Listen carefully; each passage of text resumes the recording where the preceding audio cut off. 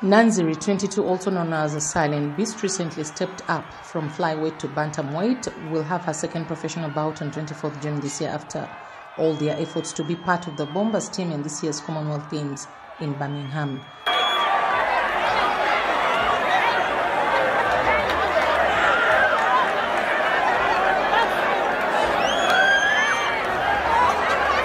Uganda versus Tanzania.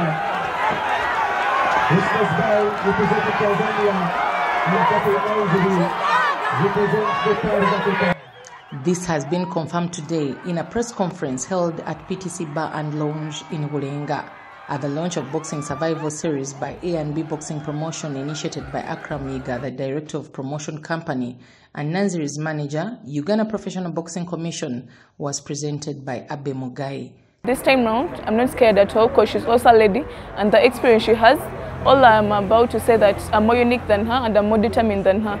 So I'm ready to box her out. This event will have nine bouts in total from different fighters. Stanley Mugerwa takes on Tom Muwonge.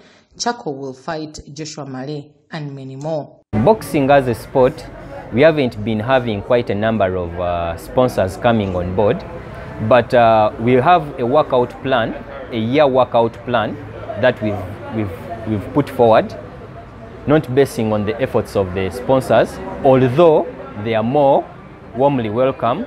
So our year plan is to continue running this boxing series up to the month of December.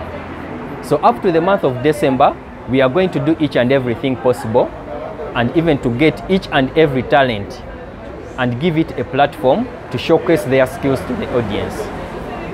Nanziri fellow Olympians David Semujo and Shidiru Musa set to return to action on July 23rd at the Philip Omondi Stadium in Lugogo. Report compiled by Arnold Wembe for the news.